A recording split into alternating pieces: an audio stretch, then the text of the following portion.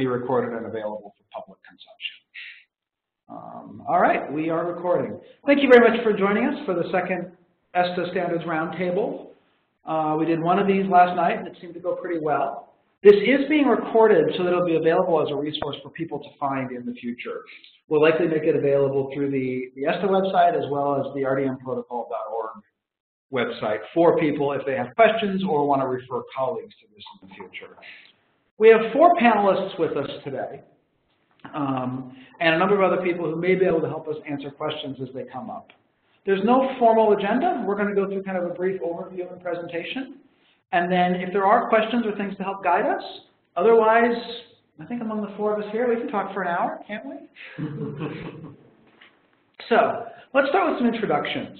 Um, my name is Eric Johnson. I've been volunteering with the ESTA Technical Standards Program for a number of years now.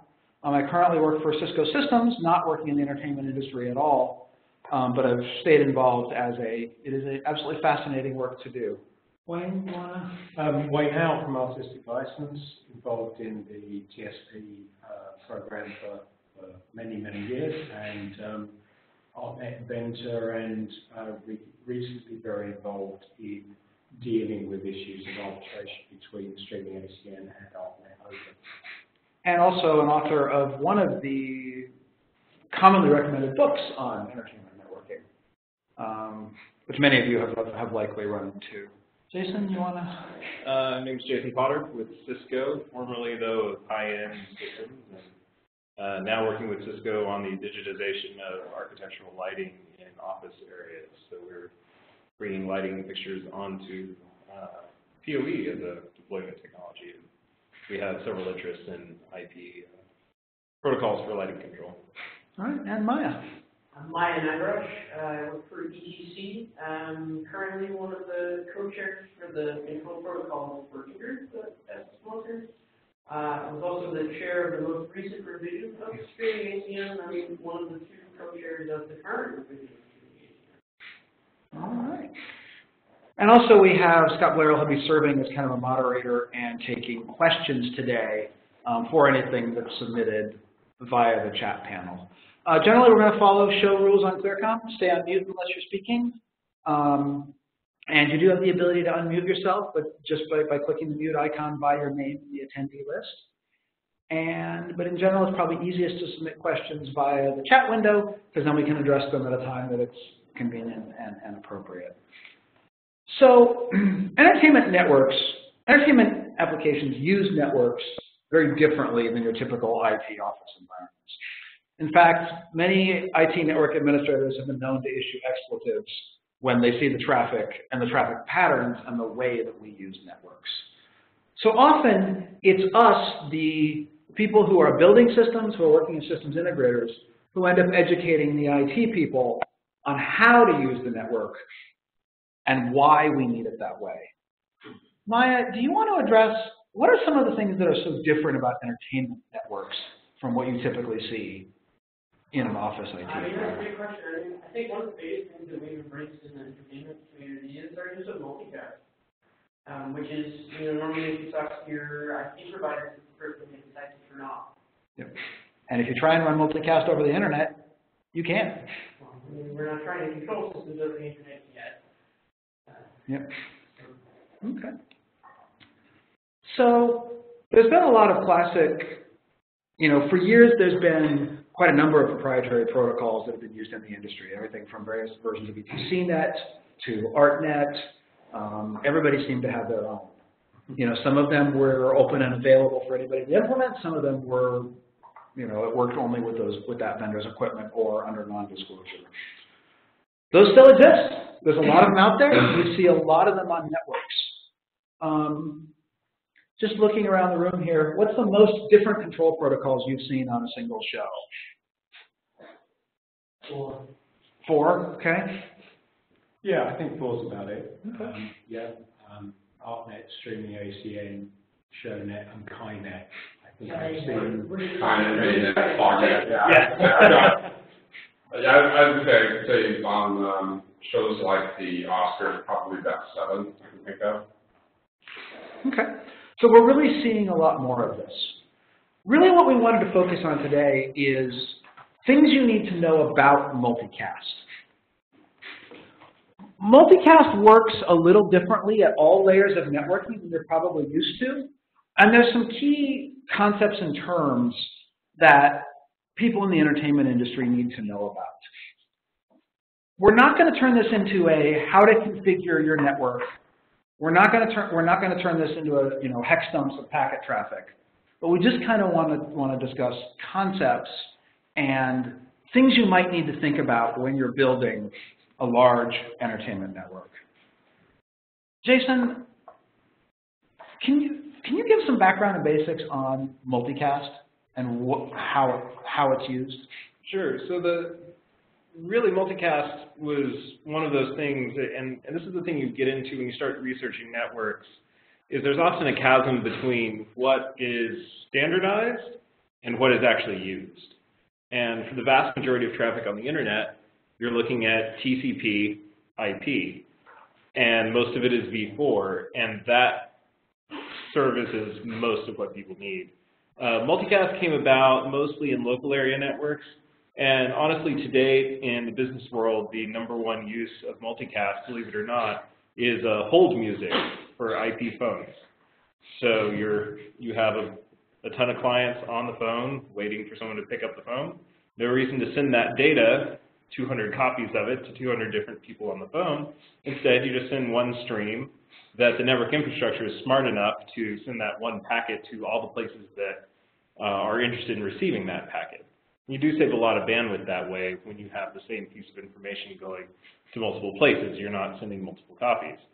Um, there really are three, and with IPv6 there are four forms of transmission. There's unicast, which is point-to-point, -point, what most people think of. There's broadcast, which is sending to everyone on a certain area of the network. And then, of course, you have multicast, which is transmitting to some.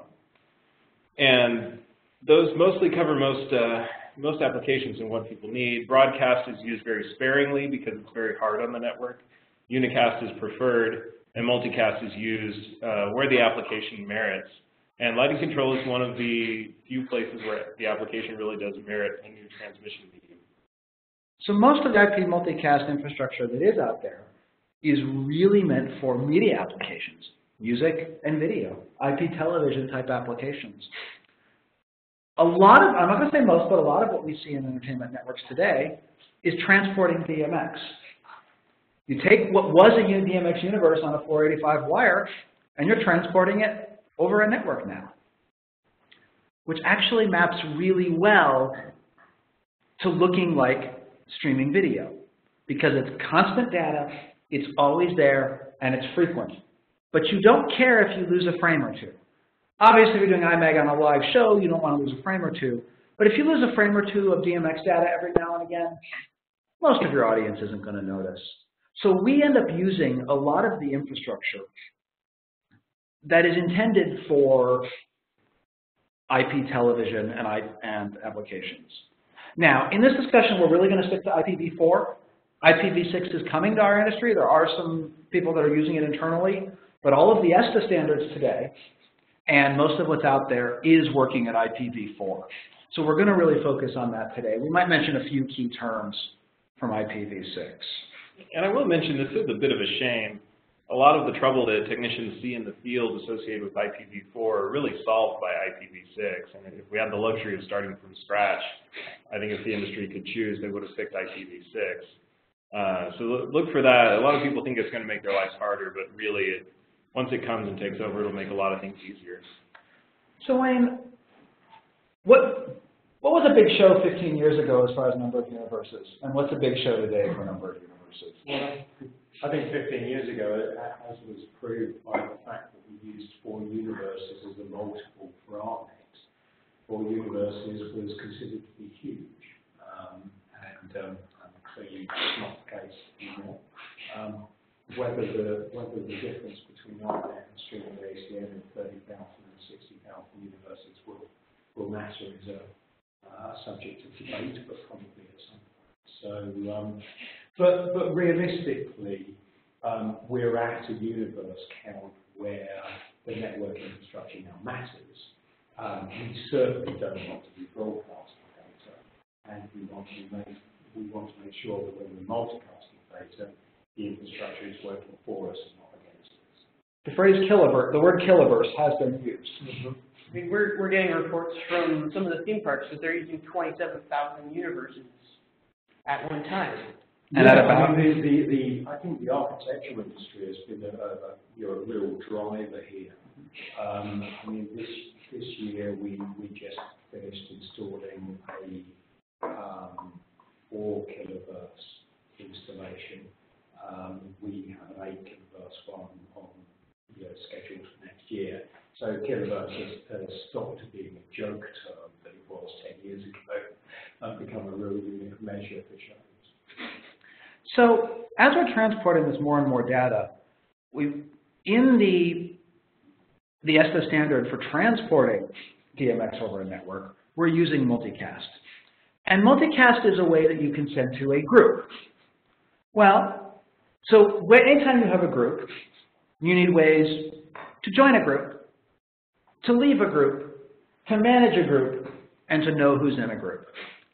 And I think we'll probably spend the next 10 or 15 minutes talking about how that works. But I think we need to take a brief digression over, in the networking world, you often hear the term layers used. And there's several different models, whether you're looking at the internet model or the ISO model or the, there's various different numbers of layers. But Jason, if I could refer to you, two of the terms that we see a lot are layer two, layer three, and layer four. It- Why should entertainment technicians care and what do those mean? Um, first of all, uh, if I were hiring one, that would be the first uh, job interview question I would ask. What's the difference between layer two and layer three? Because if you get into networks, it's as important as knowing the difference between you know power and control. It, it's the layer at which things operate. It's the level of intelligence involved in something, and it's how that data is distributed. So layer one refers to the the lowest layer of communication, which is the physical layer. So I mean, if you're thinking DMX, you're talking about a DMX cable. If you're thinking uh, Ethernet, you're thinking about most likely a twisted pair copper cable or a fiber optic cable. And that's literally how the bits get on the wire from one end to the other. But then you have to pick those bits up and make sense of them. So for DMX, layer two, you can think of as the actual DMX packet. Uh, for streaming Ethernet, it's the layer two uh, media access controller layer of the packet. And that just gets you communication from one point to the next point. And sometimes that's a shared medium where you're talking to multiple people in the same uh, segment as in a wireless application. And sometimes it's a dedicated channel where you're speaking just one-to-one, and that would be in a switched Ethernet uh, situation. Then once you leave your local area, and if you're building a show off of one switch, and it's not connected anywhere else but to your console and, and your, uh, your nodes, that's it. You'd only have a layer two segment. But when you get into a larger application, you will have multiple layer two segments, and the way you communicate between them is through layer three protocols. And layer three is where IP, Internet Protocols, um, and the sub protocols of that, TCP and UDP, uh, that's when those really become important. And when you try to take multicast beyond that layer two segment, it stops being simple, and other protocols are required to support it. So, so it used to be that layer two was effectively everybody on the same wire. Layer three was you had to talk via another computer, aka router, to, to get off, to get between layer three segments. So, you know, typically you had your layer two segment, which is those you could talk to directly, and your layer three segment where you had to be routed. Those terms are no longer as strictly defined as they once were, but the concepts are still important. Now, because they're no longer as strictly defined as they once were, there's some changes that have been.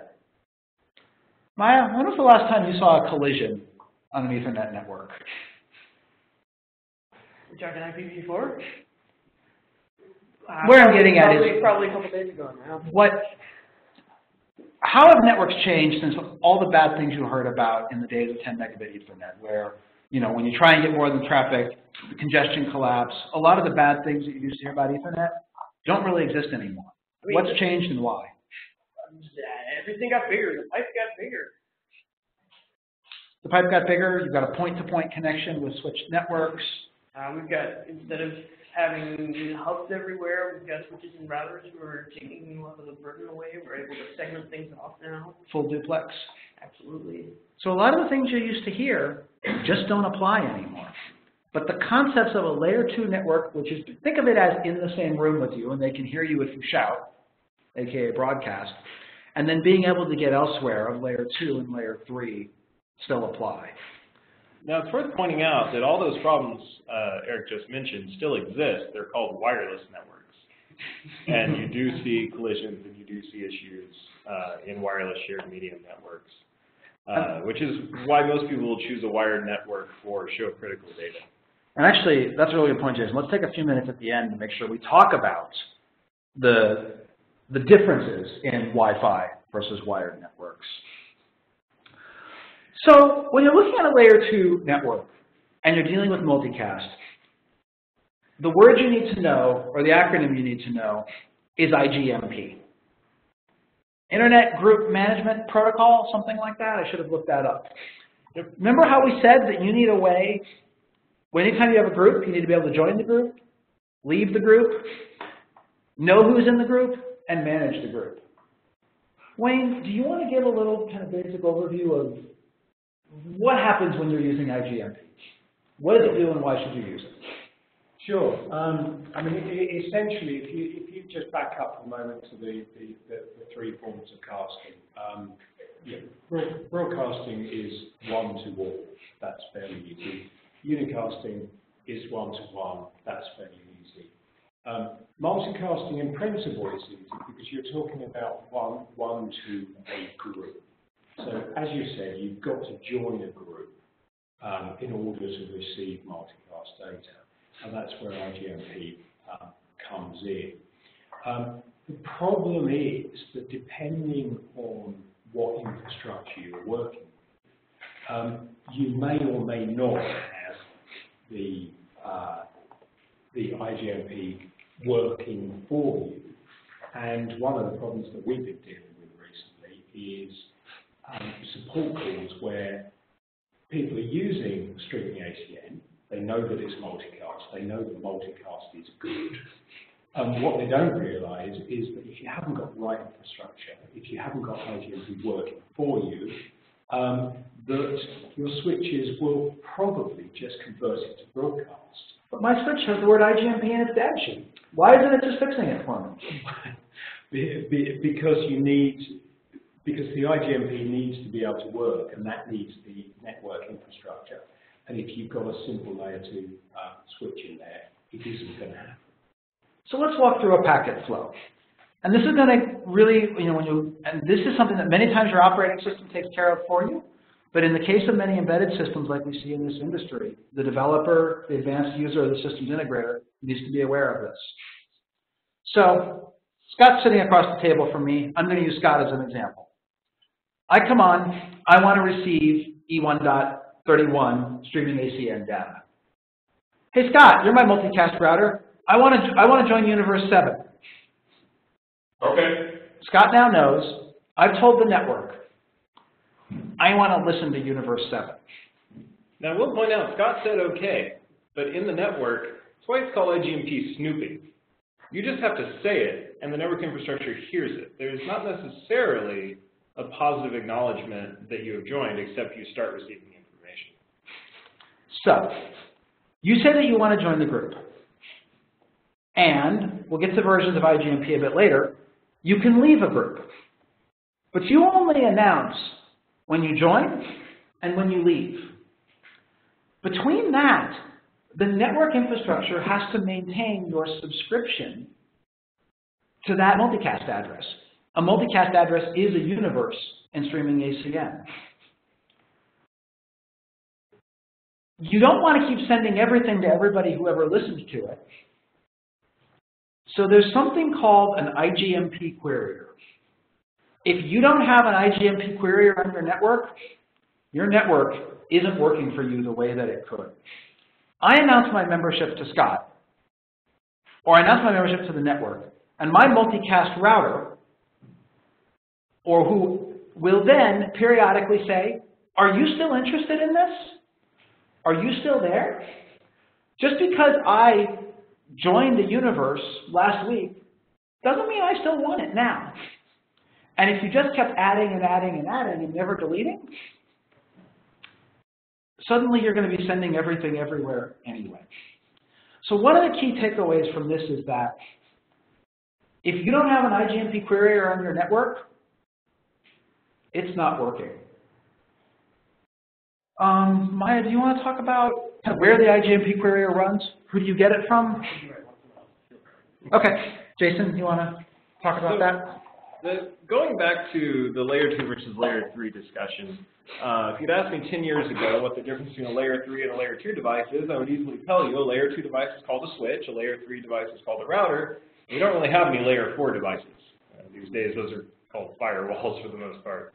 Um, but it was a very dark line. Now that's not so much the case. Uh, you have switches that have a lot of advanced layer three capability. So you have a network switch that's kind of a combination of a router and a switch, uh, really depending on how you set it up. Uh, you still certainly have dedicated routers, and those are important in large enterprises. But you can build an entire uh, entertainment network out of exclusively layer 3 capable switches and be very successful. So the way a switch works, and this is a little bit of under the hood stuff, but I think it's interesting, and I, I think it helps people understand how their networks work. Switches are based on hardware, fundamentally. And that's how they're able to handle the fire hose of data. And it really is amazing how much bandwidth a modern switch can handle. We're talking terabits of data. And what you end up with is a system where everyone can communicate at the full speed possible coming to their network port with any other port without losing any information. And if you had a single processor involved in that communication, it would choke and die immediately. So if you think about that, that's great, except not everything can be predicted ahead of time. Not everything can be etched into gates in a chip. Not everything can be solved with hardware. So the, there's a, we affectionately call the punt path, which is every switch has the ability to handle, I would say, 90% of what comes through it in hardware. And then that 10% that it can't quite figure out gets kicked out to the CPU to handle those special cases. And the CPU also helps with coordinating and setting up these uh, configurations of the hardware so that it can then get out of the way and help everyone else out. So what you do with IGMP is you're not really talking to the hardware, you're talking to the CPU, or rather the CPU is listening. And it's seeing that port 6 now wants to be receiving universe 8. And it'll put an entry in the hardware table that will allow port 6 to get address 8. And then periodically that CPU will come back behind and operate that querier process and ask all of its ports, hey, are you still listening to this? And if they are, it maintains the table entry. If you're not, it will delete it. So there's uh, essentially this kind of uh, dance going on between the CPU and the hardware, maintaining the state of the network. And that is what's required for a single switch to keep this going. When you now need to coordinate with multiple switches across a large network, say in a theme park situation or something like that, then suddenly those switches have to talk to each other. And they need certain protocols to achieve that. And that's where life gets more interesting, but also that's where you start to see uh, that you have a problem, and if you configure these protocols correctly, you won't have the whole system buckle under you. But if you try to send every universe of every protocol to every switch across an entire theme park, it will buckle and fail. So you really do need these advanced features. Scott, we have a question in the room here. Yeah, so, so, so one question is, um, as you said, you, you tell the switch, you announce to the switch that you're, you know, you're interested in this universe of data, this multicast group, and then it will then route that traffic to you. And as a, as a device, I only send that join message once, you know, when I come up, and I send it once when I leave. So what happens if the, switch somewhere in the middle that's tracking all of this, the managed switch, if that gets rebooted or becomes disconnected, or the user goes up and moves, you know, the cable from one port to another on the switch, uh, how does the system handle a situation like that? Periodically, your IGMP querier will ask the network, what out, what's out there and what are you interested in? So when you do lose your subscriptions in a way that you don't know about it, the querier will come along and rebuild that state for you. Now, in a show type of environment, that's not fractions of a second. That can be tens of seconds, minutes, a really long time to sit stuck in a queue that you don't want to be sitting stuck in. So in a managed switch, is that configurable? Your IGMP querier time is configurable. Okay. Yes. So, I'm going to break this down a little bit so you, to help people know about what you need to think about. In a small network and a small system, you probably don't have to think about this. If your IGMP snooping, your IGMP infrastructure isn't working properly, your switch is just going to treat everything like broadcast. It's going to go out every port, everything's going to go everywhere, but as long as you've got enough bandwidth and your devices can handle it, that's perfectly all right. For a couple of universes, a handful of universes, a small amount, no problem at all. So that's normally what an unmanaged switch behaves that typically today, isn't it? Correct. Then, but when you get into a medium system where you're still on the single layer two segment, but you need to really use that bandwidth. You have multiple devices, some of which can handle only four universes, some of which can handle only one, some of which are media servers and need 50 universes. You need to make sure your IGMP infrastructure is working properly. And when you get into the really big stuff, you get into multicast routing, which we'll touch on briefly at the end.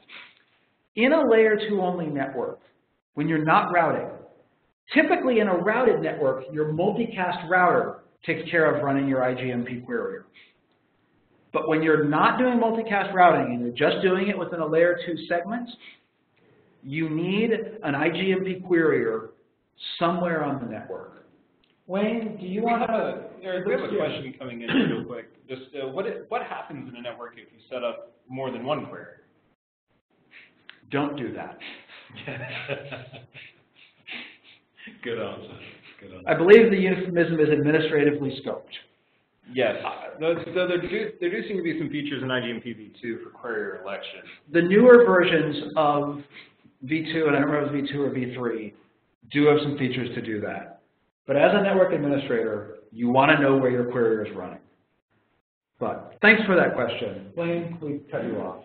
No, that's fine. Um, I think the, uh, thi- this is one of the key issues that's coming up with, with support calls um, all over the place at the moment where people are getting into using the streaming in, in a big way. And yeah, we're seeing that kind of transition between, um, as you were saying, of the kind of four, six, eight, ten universes. It's fine. It's it, the, the the multicast is being converted to, to broadcast. Most of your gateways and nodes are going to be handling that. It's fine. You start to ramp that up to 20 universes or 40 universes. Um, the network bandwidth can handle it, but your gateways are going to start to, to, to crunch under the strain. And by gateways, you mean what we would typically call an output node Yeah, in, in, in this industry. Something that takes, DMX or right, takes packets from the network and puts them on a DMX. Absolutely. And one of the problems here is that um, if you're just running layers and you haven't got the query up um, in place, you, we're, we're finding that lots of users are saying, well, streaming ACN, it's multicast, that's good, we're fine, and they don't know they have a problem until it stops working. Um, and one of the bigger problems is that with a lot of switches, how they handle multicast data in a non-query, uh, non-query situation isn't actually that, that well defined. You'll find some manufacturers that will actually just kind of block multicast and away. You'll find others that will just stream it out to every port, which is essentially converting it to broadcast, which is bad.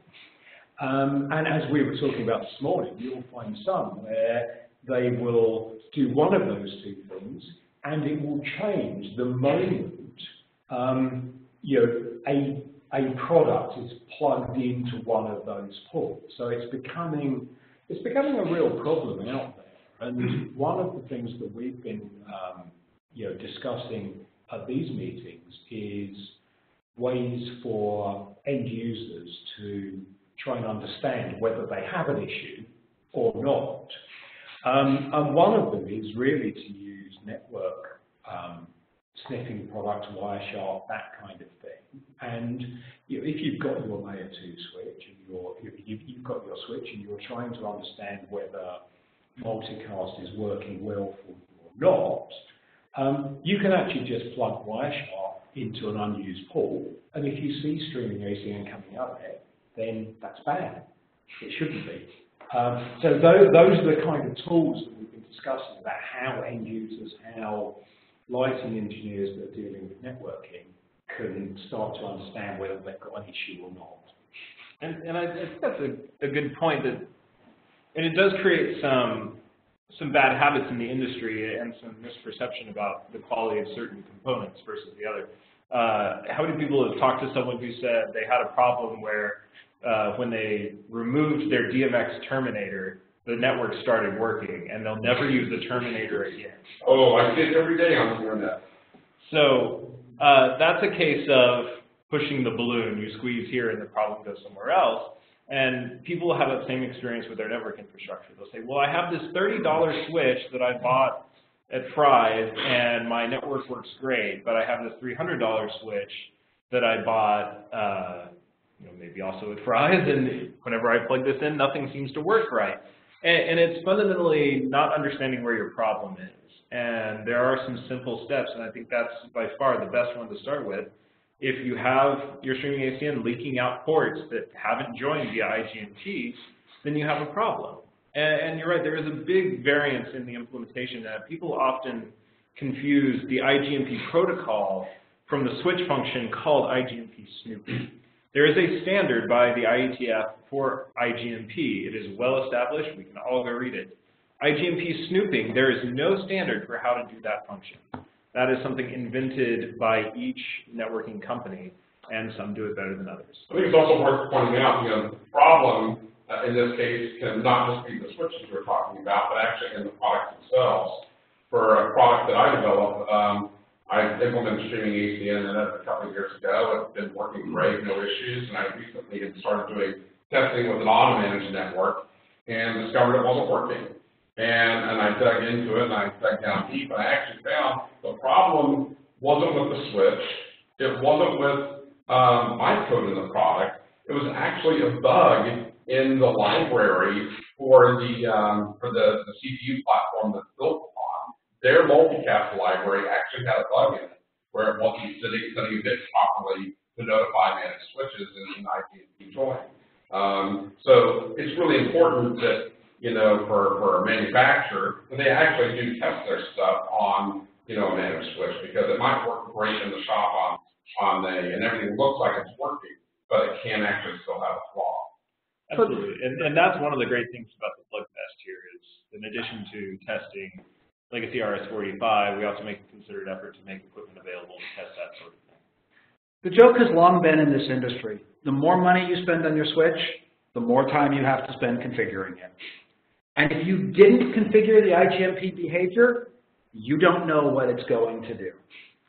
Maya, most small systems can still get away with the $30 off-the-shelf switch. Where, at what, you know, where do you see the lines as drawing? How big of a system does it need to be before you really need to start thinking about this at all? Wow, it's a tough question. When, when we talk about small systems, I mean, we've got people schools that are running on a single universe, and I mean, of course, we're not going to see any of the problems there.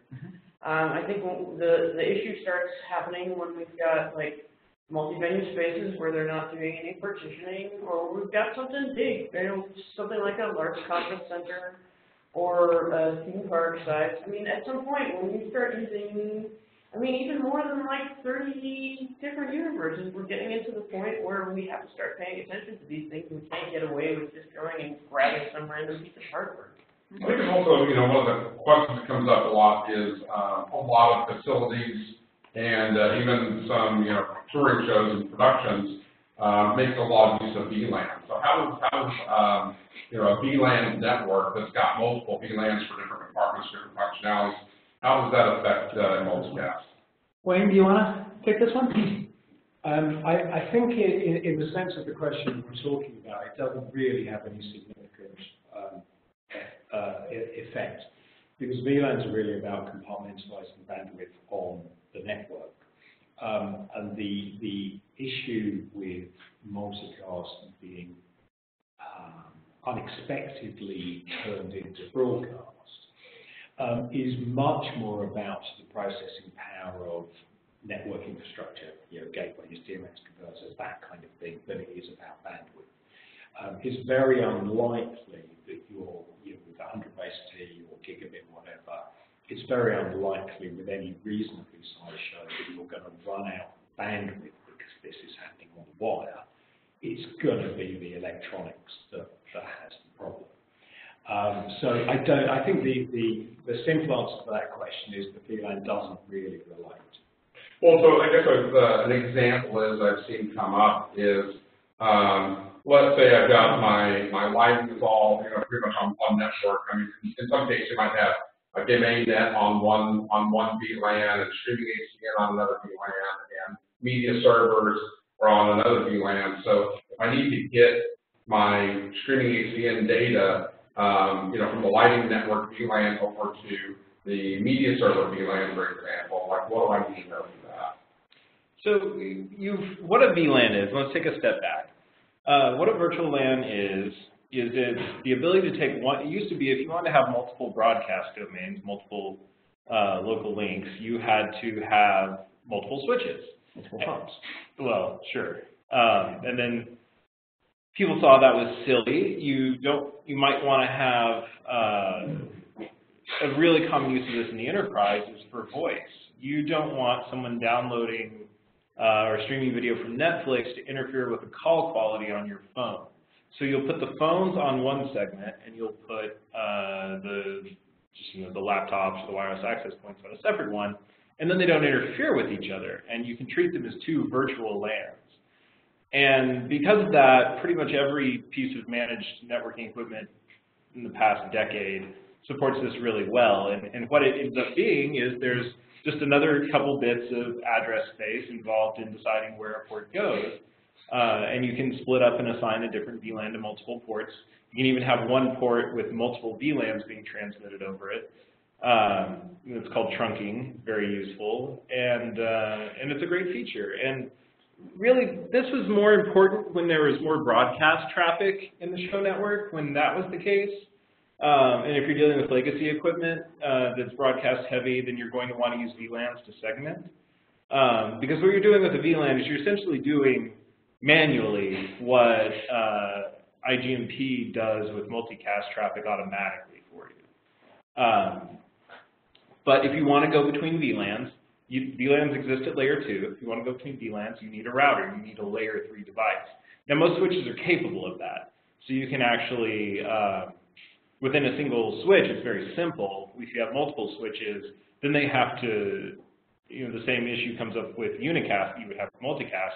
They need a routing protocol to talk to each other so that they can coordinate who has which VLAN, which subnet, and at what point they cross over. You don't want to have them crossing over in multiple places for various reasons. Um, the same way you don't want to have uh, two patch cords between two dumb switches. Uh, so a, a, quick aside, in the column of things that can go terribly wrong, and I, I certainly think they can go terribly wrong in a show network, um, is that $30 switch is great up until you have 10 of them, and someone accidentally puts in a redundant link. Now you have basically created a feedback loop, and those small switches are too stupid to realize what they're doing. And that first packet through goes to switch 1, then that goes to switch 2, and then that redundant link takes it back to switch 1 and back to switch 2, and things get amplified to the point where um, you, you can take down a show network very quickly. And those are notoriously difficult to debug because you have to find that redundant link. So before we go on to how do you get the multicast traffic between the layer 3, this is a really good segue into let's talk about things that can go wrong. We've talked about that when your IGMP, your IGMP infrastructure isn't working, but there's a couple of other things that commonly bite these kind of networks. Maya, do you want to talk about storm control? Okay. Wayne, do you want to broadcast limiting storm control?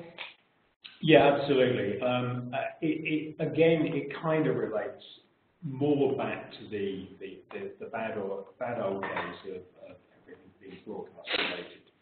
Um, but the, uh, but it, it does relate to multicast as well. The, the, the concept was that when a, when a switch suddenly saw um, a large increase in packet data flow, it was probably a fault. It might have been a feedback loop, as we were just talking about, um, or something similar. Um, the, the, the big problem that we have in, in lighting networks is that unfortunately that fault scenario has exactly the same signature as most lighting consoles when you pay the Grandmaster to pull. Totally. so, Yep. And so many network switches, it goes by many names. Storm control, broadcast limiting, what else, I don't know what other names we've seen. But the basic idea is that if they see most IT networks, 1% or less of multicast traffic. A lot of switches, if they see 5%, 10%, so many packets per second worth of multicast and or broadcast traffic, they decide that's a fault and cut it off. Usually in the middle of your, of your cut to black for the intermission. If you're seeing things that work fine in static, and then suddenly stop working when you run a big cue or a big fade or get very steppy, storm control is one of the first things to look at.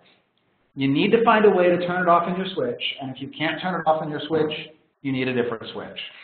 It goes by a million different names, but in our networks, you basically want broadcast limiting, rate limiting, storm control for both broadcast and multicast turned off. Now that said, the, the thing to keep in mind is these are features that serve serve purposes. And the problem is the people who design these features and set the configuration defaults have never heard of streaming ACN. So while it, there is, it's one of these things where with great power comes great responsibility. Uh, if you want to protect yourself from certain other sorts of issues, one can configure these features to work for you. The problem is by default they work against you. So uh, read the manual, understand what the traffic through your switch looks like, and once you understand those two things, it, it can be used for good. But if you don't want to invest the time to really understand what an appropriate set of thresholds is for your network, then uh, Eric's suggestion is by far the best. Shut it down. And I think it's also worth noting that um, you mentioned streaming ACN, but really this problem is actually common to just about all of the entertainment and lighting industry protocols, whether it's a you know a public protocol or a proprietary protocol. Um, most all of the entertainment uh, lighting industry protocols are affected by this setting. I just want to say that, you know, with, with these kind of situations, we, we've been talking about how to respond to there being a problem. But there's, there, obviously there's a lot to be said for testing and understanding what the variables are in your network.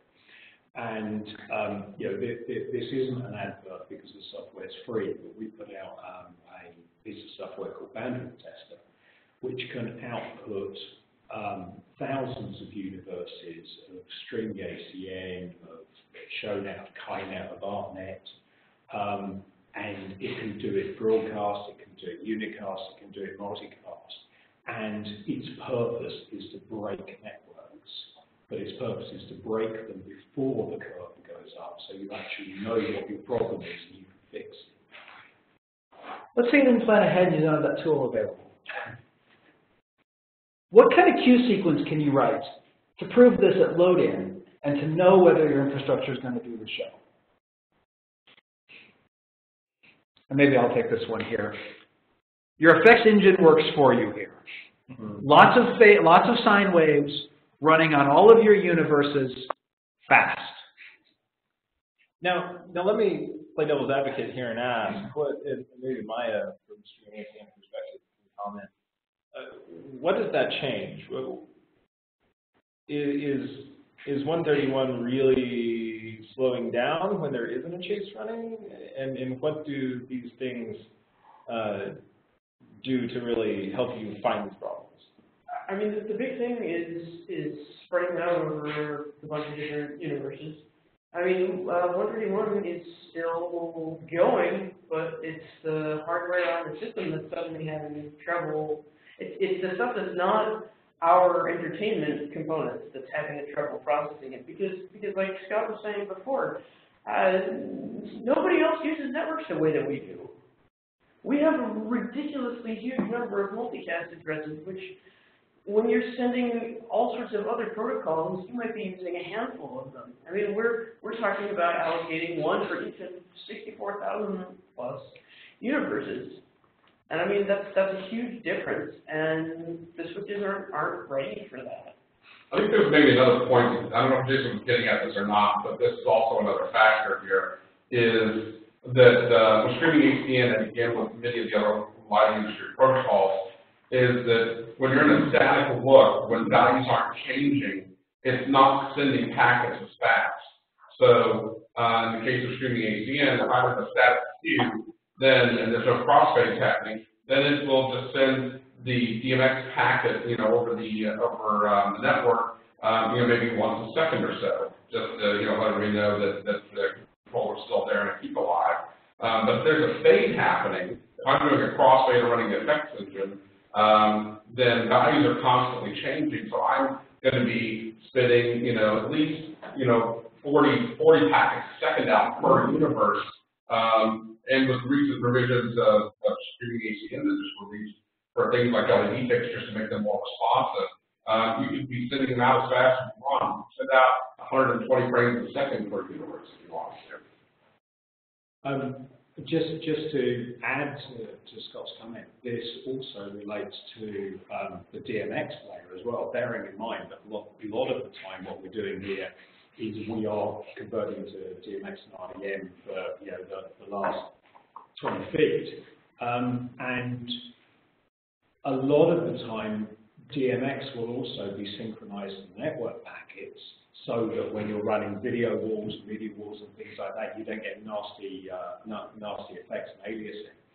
Um, so when you're testing the network here, you're going to probably be changing your DMX refresh rates as you're testing your network and you're upping and downing the ACN refresh rates. So we've talked about making sure that your IGMP infrastructure is working for you. We've talked about storm control rate limiting. Another problem we also see is that some switches, some network infrastructure, can only forward multicast and broadcast packets at the speed of the slowest connected device.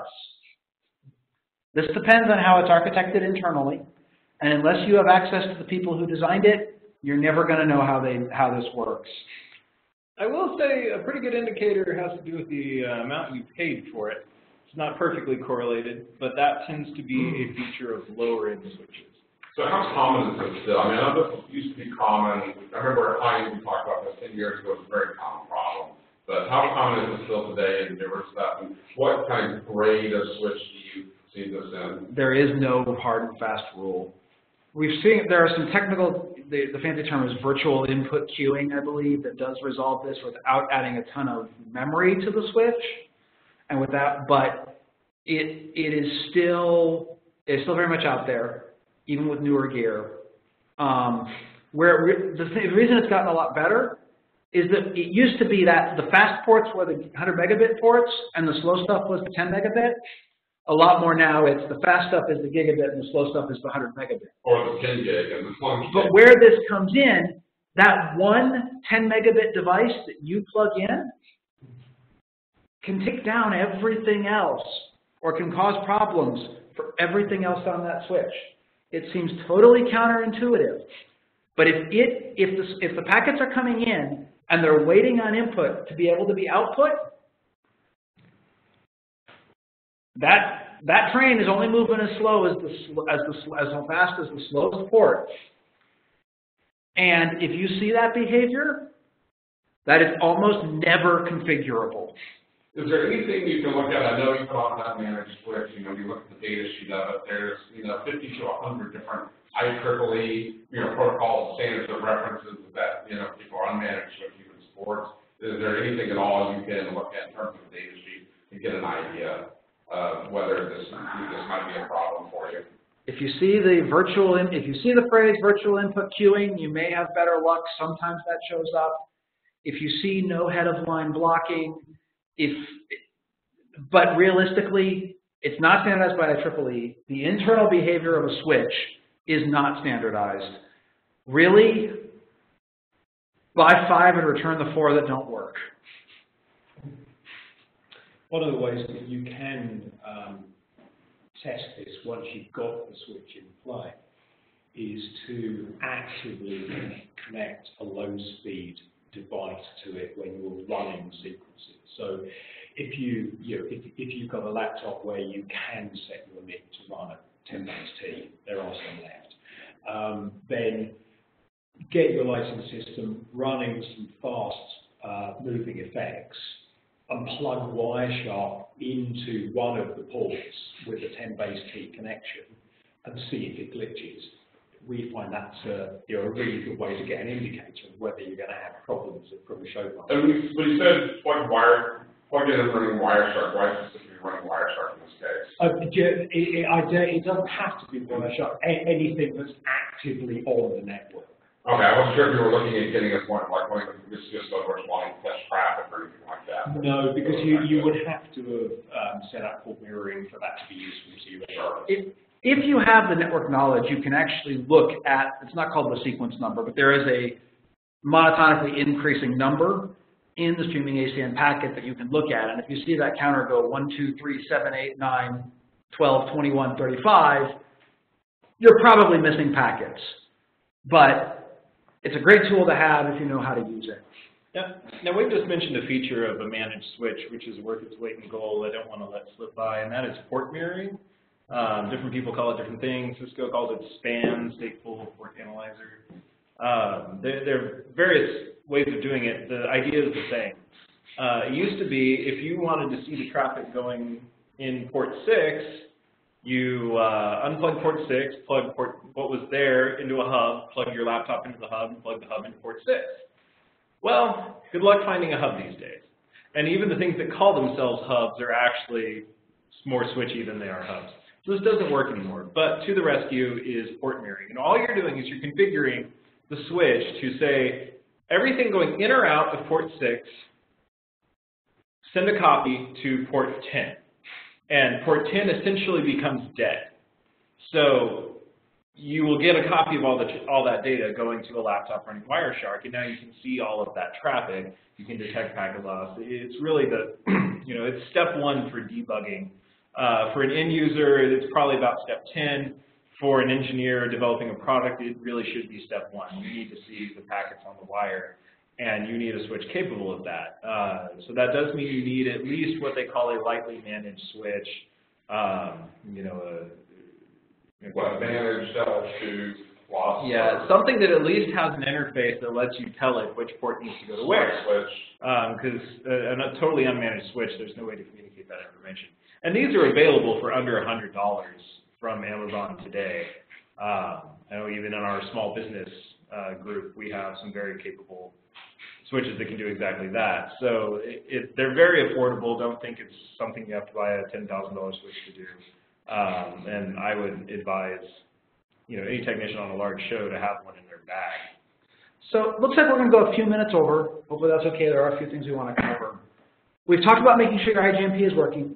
We've talked about rate limiting. We've talked about how plugging in one slow device can wreck that entire can wreck performance of that entire switch. But there's another gremlin. It's the conspiracy theory packet. It's out there. Flow control. Flow control sounds good. Flow control is how a device can say, I'm not keeping up. Stop sending me stuff. Really nice when you're FTPing a file. Really nice when you're looking. Really bad for streaming networks. When you're transporting DMX over a network, I'd rather have the most current data than all of the data. The technical term is isochronous. I don't care what it was 50 milliseconds ago, I want to know what it is now. If you have one device that says, I can't keep up, stop, and it sends that out, depending on how the network is, is implemented and depending on the switch, That can tell that switch to stop sending, and anything that's plugged into that switch to stop sending, and anything that's plugged into that switch to stop sending. One device saying stop somewhere on the network can cause something three hops away to think that it needs to stop sending. That really weird old laptop that you that is running in some sort of management mode that you left plugged in and suspended in the office, yep, it really can mess up your entire network. And unfortunately, it's the conspiracy theory packet. You can't see it, but it controls everything. Because when you try and look at it with Wireshark, unless you're using a special NIC that is intended to see these, the NIC in your laptop is going to absorb it. The, typically, the only way to know if these are happening is to look at the port counters in a lightly managed or web managed switch or better and see if you're seeing flow control assertions. And if you are, turn off flow control on the switch and get that device off your network because you will have no hair left because it will have all been pulled out. I think, I think part of what you're talking about here, and kind of one of the overarching themes that, that we've been edging at but haven't actually said, is talking about isolating the infrastructure or lighting network from the rest of your IT infrastructure. And as a matter of fact, one of the questions that was just put in the room, Milton Munch, Milton's mantra, if you connect your lighting system to the internet, you will get what you deserve. if you connect it to the office network, things are going to get interesting. Let, let me put it this way, if you connect it naively, there are safe ways to do this, people do, and for good reason, uh, but that is done by someone who is an expert in IT. I do see it happen a lot on shows, even, even the of shows out there. I see it frequently happening because, hey, I need to download a, a profile for this, you know, for the lighting console. I need to download the latest content update from the graphics designers that are somewhere else, load into the media server. So, um, it does, said, it's a, it's a bad idea, but unfortunately, it's so seductive that it is occurring quite often, even amongst, you know, the biggest professionals out there on the biggest shows I've seen. But let's, let's not just use something that has multiple network interfaces that's capable of doing that at the same time. No, no, I'm talking about- Actually connecting it to your office network. 'Cause There are some really slick products out there that are doing a whole bunch of watching of your system that can actually, you know, collect that information, put it on a web page somewhere, and that's fine as long as those interfaces are, are separated, as long as there's one that's running on the lighting network and one that's talking to the office network, the actual internet or something like that. And it's, I think Wayne wanted to. oh, oh, sure, we also had a question come in about. I, I was just, I was just going to make the point about that, you know, a lot of, a lot of these um, features are, are, are things that, from a switch manufacturer, are considered to be clever features. You know, storm control we talked about, um, flow control we talked about. Um, it's one of the reasons that before multicast and streaming ACN were, were active in our industry, the recommendation would be to use an unmanaged switch because it didn't have the clever stuff going on. That's no longer a relevant recommendation because we need managed switches. But, uh, you know, my mantra is when you take it out of the box, log into its web browser and turn off the clever things that are going to cause you problems. And flow control and storm control are two things that you should just always switch off at the beginning. So we had a question come in. Um, why does ETC recommend not having MANet on the same VLAN, aka network, as Net3, even though both are multicast? Do you want to take that, or do you want me to? Well, I think we can trade off on this one. I mean, it, it's, what we've been saying before, and, and Net three is an interesting thing to say because Net three for ETC is actually streaming ACN and ACN and that family things. So, for those are the protocols that we've been talking about for part of the day. Um, and we were just talking about before about the, the, uh, multicast addresses that we've got allocated for use of streaming ACN, and, and it's the same thing that we've been saying about combining systems here. You know, we've got, uh, one setup and a, an amount of traffic in there, and we're going to have some sort of, can, can you do it? You probably can. Uh, if we've got these two different systems and they're all passing all of this traffic around, well, why don't we separate them?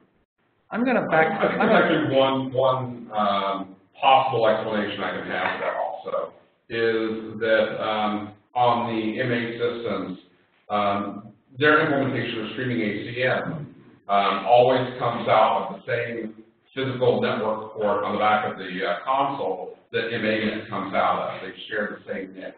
So if you're using MANet and you may not really be intending to use streaming ACN, but it has to be turned on, um, and ETC does use streaming ACN in their system, you can easily end up with, you know, um, you know, the universes colliding, and then whoever has the highest priority set in the packet kind of wins. So that, that's one um, obvious problem I'm, I'm aware that could occur. Um, on, on an MA console, for example, the you know ArtNet comes out of a different a different NIC on the back, a different port, so you don't have to worry about it. It's um, you know being a collision, but um, the MANet and and um, streaming ACN do share the same physical interface. So I think the biggest the biggest thing to know is if you are if you are using MANet, you're trying to put on the same VLAN so make sure you coordinate, you know, what streaming ACN universes are coming out of the MA also. I'm going to back this up a little bit and kind of go from my time when I was working at high end. Generally, the easiest advice to give is don't mix them.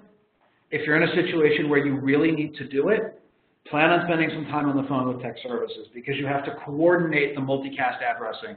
You have to coordinate the multicast group assignments, not only for between the DMX transport protocols like you know, streaming ACN and the other ones, but also between the console-to-console communication where they're doing database lookups and other things. And there's, everybody looks at the IETF and the ICANN and the IANA assignments and makes the same decisions. And so we see cases where we have the proprietary protocols using the same or similar multicast ranges as multicast addresses, because you don't own a multicast address as some of the other things. It can be done. In Hogland, was we had to give you certain system numbers in, or tell you to use certain universes, but the easiest and will always work is to keep them separate, and you need to know what you're doing when you want to merge. Wayne, you. Yeah, I mean, I, I, would just expand on, on Scott's comment, which I think is related to the, the kind of physical MA consoles. We've certainly had experience with their more kind of PC software-based ones where actually, um, you know, the MANet, the streaming ACN, the ArtNet, it's all coming out of the same connector. Um, and whilst in principle that should work, um, you know, the reality is that it's going to break things with that much data coming out. Especially if you haven't, if you haven't in- explicitly configured it properly. And, and that's where I really think the most important switch in your system is really going to be the one that accepts all of the data coming out of the consoles. Yeah. And that's where the management features are really going to get you out of jail free. Uh, the one in the rig, maybe not so much. So we're at the hour. There are a couple of things that we promised we'd get to later and a couple of key words I want to I want to mention just so that you can find them with the web search when you need them. We talked about a lot about what you need to make things work better within a layer two domain. Your IGMP working for you. You know, make sure that you have storm control turned off. Turn off or don't use flow control and make sure that you don't have one device slowing you down. When you need to go between layer two segments, the key word is PIM sparse mode, PIM sparse mode. That's protocol independent multicast. It's how you get multicast routed at a layer three level. When you need to get between networks, it's, uh, it's PIM sparse mode. So is this how you go between two VLANs, for example? How you go between two VLANs. It's how you go from one side of a theme park to the other. It's how you transport stuff across the backbone of a cruise ship. It's generally it's best to keep stuff within a layer two domain, but when you need to get stuff across layer three, PIM sparse mode. At that point, you're probably going to bring in that networking expert onto your show, but that's a really good starting point to know where to go. And the, the most important thing to know about PIM sparse mode is that it allows the network infrastructure to only listen to and only, only request the traffic that it needs. And that's what keeps you from getting every copy of every universe in the entire theme park on every switch. And that's the difference between a successful network and a, and a collapsing one. So I think, since we're over, what I'd like to do is open up the floor for questions. And then at the end of the questions, let's do a brief discussion of Wi-Fi. And I'm not going to say why you shouldn't use it, but what you need to know. Um, so, So if, if you do have questions, you're welcome to submit them by the chat panel at this point, or you should be able to take yourself off mute, and we can, We did have one in the chat just a minute ago that I, I, I tried to answer a little bit by text, but I, think it's a good question, which is, uh, if you do have a managed switch running IGMP and then you attach an unmanaged switch to one port and dangle a bunch of nodes off of that, what happens? And the, the short answer is, uh, it's, that architecture is better than only having unmanaged switches, but what you're going to do is essentially each, uh, you know, every switch port is aware that it can be connected to additional switches. So they, it's not a, it doesn't assume one device per port. It will basically make list, make additional entries in the table for each additional node you hang off that unmanaged switch. And when they perform IGMP, it will suddenly start forwarding that universe as well and that universe as well. Um, keep in mind, IGMP requests are done on a per universe uh, basis in streaming ACN. So you'll have six requests if you have six universes. And if you have four four universe devices, now you'll have 16 groups coming into that unmanaged switch, which is still probably okay, but if you expanded that out to a 48 port switch uh, with four universes per, now you're starting to pull a, a little bit more, and it might have been better not to use that unmanaged switch. You might be better off having just another managed switch. the other thing I'll add to that, though, is that can be a really good architecture if you have a traffic-intensive core. Between your console and your front-of-house media servers, you're doing 50, 100, 200 universes, you're doing lots of this, you're doing the kiloverse, putting the managed switch there, letting it keep that traffic in front of house. And then if you just need to get a couple of universes to your stage manager console or some truss, you know, you've kept the bulk of that traffic off of the line to the truss, and then the unmanaged switch hanging off there, probably good enough and a little more budget friendly. And, and keep in mind, the, the, the trick, and this plays into another question we just got, which is, at what point versus at a number of universes, a number of sources, uh, do you really, does IGMP become a requirement? And that's a really hard question to answer because at, at a fundamental level, the function of IGMP is to prevent broadcast. And the console already has to send every universe. So you're not doing the console any favors there. What you're doing a favor is the fixture, the gateway, whatever that data sync is. And that threshold is going to differ depending on who's uh, streaming ACN to DMX gateway or, or comparable technology, who you buy it from, and how many resources that device has. Uh, there's some on the market that barely scrape by, and there are some that are massively overpowered. And it's one of those things that you, there is no hard and fast rule. Uh, you know you're going to be doing those devices a favor if you give them the ability to ask the switch to filter for them, because that's what you're doing.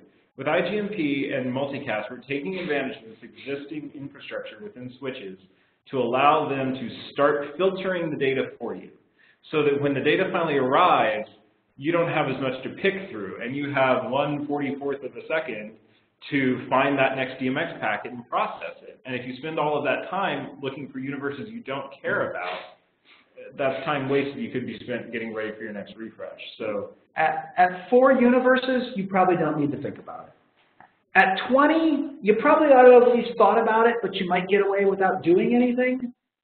At 50, you Yeah. better have done some work. You're, you're, you're, you're really limited here by, you know, what the, the pro- amount of processing power in the weakest, you know, the weakest amount of processing power devices you have hanging off of the network that are, they're getting, even though it's only interested in its one universe, it's getting traffic for, you know, 20, 30, 100 others.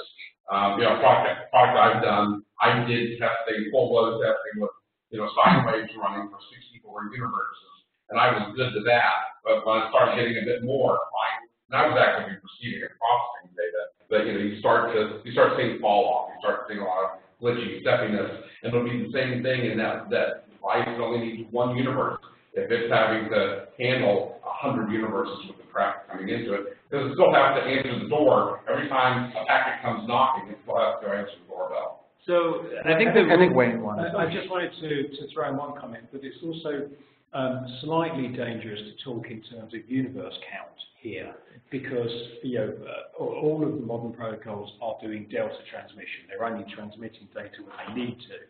So 40 universes when you're running a slow fade versus 40 universes when you're running a Ballyhoo is a massive difference. Um, and, and that will, you know, affect whether your gateway can actually keep up or not. True, true. A system where you've got, you know, a lot of things that are, a lot of universes that are, you know, basically static, where they're not changing values, not very cost-based, but the network looks like almost no traffic at all. But as soon as you start the effects engine running, you know, it's, it's a huge spike in traffic, so, and that, that does make a big difference. Absolutely. So I, I think the, the answer to that is cheap node, expensive switch. Expensive node, And maybe you can get away with a cheaper switch. And Test- absolutely test it. testing in pre-production. Um, just for some interesting numbers, uh, 64 universes at 44 hertz with streaming ACN is about 15 megabit. So you've already overrun what a 10 megabit device can do. You have to go pretty far to, to hit saturating gigabit. So as you can see, the the network infrastructure's speed isn't your problem. You do not need gigabit. Whether you like to think about it or not, what you really need is the, the equipment at either end to be able to handle the data. And there's a lot of things out there I see that have, you know, a gigabit interface takes on, or even a hundred megabit interface on, but they can't handle traffic actually coming at them, you know, at that rate, even though they may have that interface, that doesn't mean that the processor inside can actually handle that amount of data. It's also important to think about the knock-on effects as well, because the, the, you know, these gateway devices, you know, Ethernet to DMX converters, they're doing other things as well. They're dealing with the RDM management.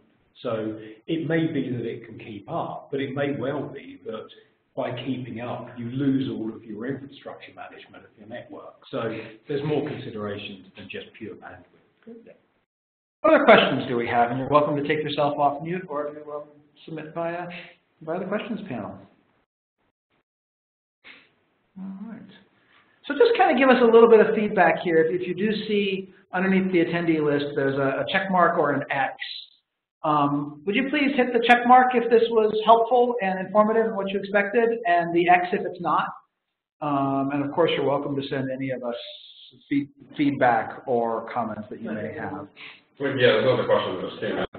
Uh, this is a great question. Um, part of the reason that the CPWG is starting to focus on IPv6 is because we're discovering that there are a lot of IPv6 only installations, and we're missing our chance to get folks who actually know about the lighting industry putting things into uh, lighting equipment, all of these architectural installs.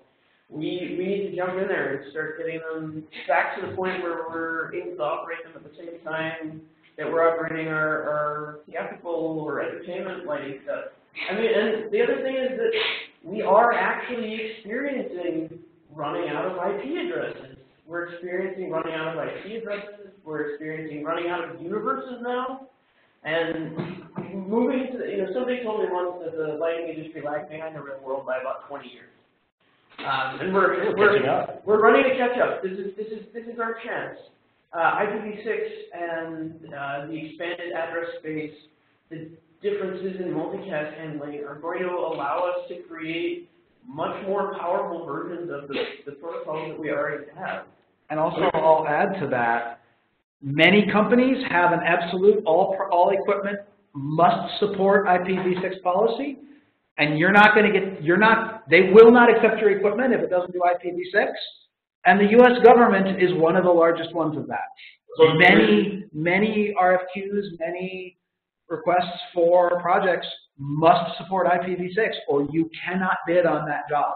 And so this manifests itself on big, you know, I've heard some projects where they're, you know, doing lots of creative uh, LED lighting, uh, bridges and things like that. Well, you have to be able to check the tick box that does IPv6. Now, whether the person reading that form actually understands what that is or not, or even really matters, um, you know, it, it's become a requirement. It's become a specification requirement for a lot of companies, um, and especially in the architectural world, um, is, is where it's, it's a bigger issue. I think Wayne has a point. Yeah, I'd just like to throw in a kind of international comment on that. Um, I, you know, I'm hearing this um, a, a, lot at the, the meeting this week.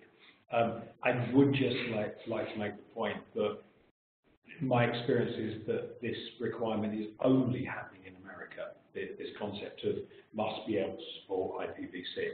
It's not happening anywhere else in the world. We, we hear about it from Australia a lot too. Okay? There's, there's a definitely, yeah, a very loud community from Australia that we're, we're hearing that. I mean, I'm not saying that it's bad. Yeah. I'm just saying, you know, But, but yeah, it's, it's really kind of specification point that's really driving it more than anything, you know, um, because on lighting networks, we tend to be on our own private networks anyway, you know, behind a NAT, that, you know, we're using a private address space, so it doesn't really matter so much for IPv4. But, you know, the, the industry is moving that direction as a whole, and at some point, I don't think it's gonna be for a long, long time, I'm, I'm one of the ones that kind of drag that feet through the, through the mud here a bit on it. Um, but you know, at some point, there will come a time where IPv4 will start to get deprecated in, you know, IT systems that were, you know, that we build all of our networks on top of. Um, you know, Microsoft, for example, has slowly been moving their stuff Scott, if- if more I towards. That's Yeah. I think we have a follow-up question in the room here. related to IPv6, Jason, earlier you said IPv6 makes a lot of things easier than IPv4, especially configuration. Can you give us an example of that? So, um, and actually that was part of the question here was I spent enough time typing in IPv4 addresses. And, and the answer is, if you're typing an IPv6 address, you're doing it wrong. Well, if you're typing an IPv4 address. Somebody's doing it. Yeah, Weird. Yeah, well, but here's the thing, with IPv4, we're getting weak tools to, uh, so there's this concept in networking called zero config. And the idea is, if you plug enough devi- if you plug devices together into the networking hardware and turn it on, it should work. And IPv4 has a lot of hurdles to making that possible. IPv6 solves it. So, so just, just a quick day in the life of an IPv6 device. If you plug an IPv6 device into a network, it's going to power on, it's going to first discover its router. And once it gets its router discovery done, it's going to know what subnet it's on. And it's going to know what the universe of possible IP addresses are to be on that subnet. Because there's so many IP addresses available, it can just pick one out of thin air and it's okay. With v4, the problem was you had 256 to pick from, and you had to make sure you didn't overlap. With IPv6, it's not a problem. You can pick a random one, you're okay. You can also do DHCP traditionally, you can do the other, you know, static assignment if you want. But for the most part, an IPv6 network can get plugged in, turned on, and immediately start function, functioning. And with a little bit of configuration ahead of time on the network infrastructure, you can do really powerful things with this. And then at that point, using things like uh, some of the features of forthcoming ESTA standards like E133, such as uh, multicast DNS and, and uh, service discovery, you're able to uh, you're no longer looking for the IP address, typing the IP address of the console. You see the name of the console and you click on it. And, and these are the kind of user experiences that we should be having in this industry. The, the kind of, think Apple and the simplicity of, of how you're able to connect to devices on the network without having to worry about the IP address. Uh, which, by the way, consequently, one of the other issues with IPv6 is uh, starting this year, Apple will not accept uh, iTunes Store submissions of apps that don't support IPv6. Now, what they really mean is they want you to support IPv6 for internet-connected functions. We're not internet-connected by and large, but you'll see these requirements start to pop up in more and more places where uh, people look down on you if you're not supporting it. And, and the other reality is it's easy. There, you know, we've, we've been tracking what it takes to support IPv6 in these protocols. Uh, the changes occupy, you know, maybe 20 lines. It, there's so little to do to do it. It's just kind of a no-brainer, and then we'll see. Uh, it really opens up these tools for really easy uh, configuration networks that will then let the industry kind of go forward. And I, I think once systems really start to flourish under that, I think people just stop wanting to do any, you know, you kind of want to do all those IPv4 things by habit, like assigning IP addresses so DHCP doesn't get screwed up. But, but once you kind of get spoiled a little bit, and the reason people haven't adopted IPv6 is because they have to connect to the internet. So much of the internet doesn't support v6 yet. I mean, you'd be surprised how much does. But you eventually, you have to have v4. But when you're in a lighting network where you're starting from scratch every day, there's no reason to use v4. But with that, we are well over the time that we've allocated. So I would like to thank everybody for attending and thanks particularly our panelists for participating. Um, Wayne, Jason, and Maya, thank you so much. Um, if you do have technical questions about protocols, I really do recommend the rdmprotocol.org website. Um, there's a lot of good technical discussion there, particularly for developer level stuff. Um, and, you know, a lot of the people in this room um, follow that. So, thank you very much for joining. I think we're going to go ahead and end the recording. So, thank you for joining, and everybody enjoy the balance of your weekend. Thank you. Thank you, Eric. Thanks.